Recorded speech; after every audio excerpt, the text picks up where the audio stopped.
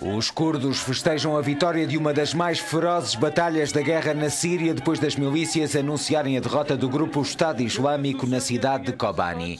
Os Estados Unidos afirmam que 90% da cidade está agora sob controle das tropas curdas que enfrentam os combatentes islamitas há mais de 112 dias.